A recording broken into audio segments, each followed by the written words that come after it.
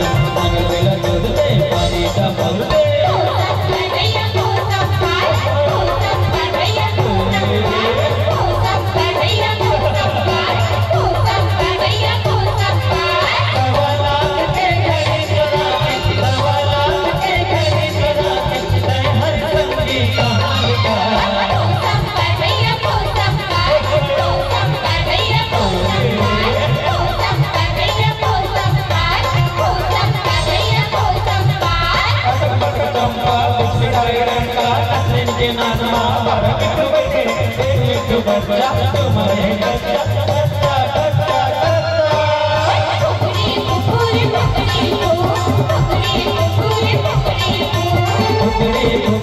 پھول نکلي او